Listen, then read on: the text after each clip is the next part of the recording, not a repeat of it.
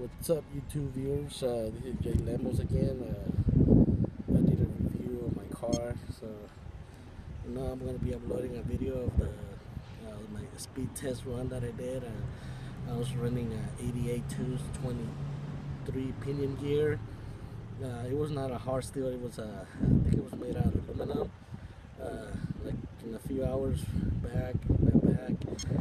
I have another uh, pinion gear. I have a bunch of pinion gear, so it's a 22 pinion gear now on a Spur uh, Robinson third generation racing Spur gear. Uh, so here, let me give you a shot on my thing. I think with the 22, I think I could get more speed.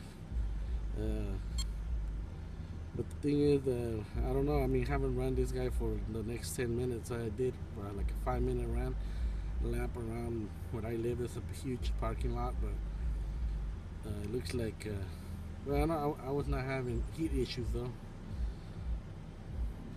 But I think uh, with the 23rd, I think uh, that's the sweet spot right there. But you don't get no heat issues. I mean, your motor stays cool. I mean, the fan on the AC comes on though. But with the 22 uh, tooth pinion gear, I mean, you're looking for, well, not trouble though, but you're getting more speed though. So you guys can see I got my new uh, Proline shocks, the rears and the fronts right there. I got them uh, from this dude on eBay. Uh, I think uh, I don't know what happened to his RC, so he was selling it, so I got them for 80 bucks. Uh, the the two pairs actually. I know they run like what like 60 bucks on on Proline website, but I got them hella cheap. So I mean, these shots are hella good actually. Uh, they handle really good. Uh, at least on bashing. Uh, so uh, so this is another shot of my RC. Uh, I know I uh, I posted a video a while ago when I did my speed run. So the camera actually ran out of battery, so I didn't finish the whole speed run. So I'll be doing another one since I don't have nobody to hold the camera, or else it's gonna be all sloppy. So okay, you guys. Have a great day. Enjoy my video. So this is an E, the HPI E Firestorm all suited up already. You can see, T-bones front and rear bumpers.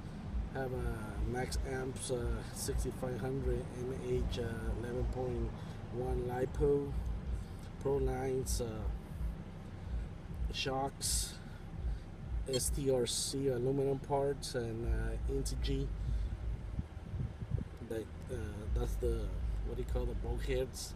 Oh look you guys I did a little trimming on this thing too because uh, my steering wasn't doing so well so I had to cut the thing on half so I could have a better steering.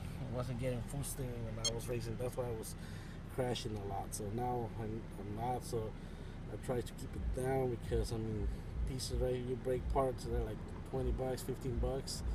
So this is my hobby right here you guys. Hope you guys enjoyed this uh, E-Firestorm um, I think I'll be upgrading uh, the A-arms to uh, RPM or I'll find something better. I don't know. I'll be doing a little research but I think that's the last thing I need to do.